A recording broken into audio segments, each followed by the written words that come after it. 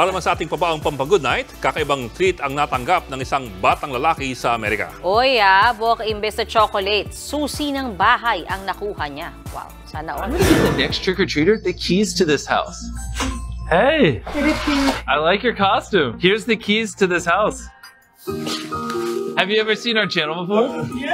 Oh, so that's the key to this house that you just won. Kumatok sa pinto ang bata costume ala Baka. para sa taon ng trick or treat. Pagbukas ni social media influencer Mr. Beast, inabot, inabot niya sa bata ang susi ng bahay. Uy, akala nila ay joke lang. Uy, pero totoo pala.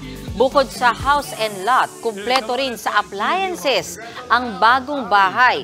May free gadgets pa. Sa sobrang tuwa ng pamilya, napayakap na lang sila kay Mr. Beast.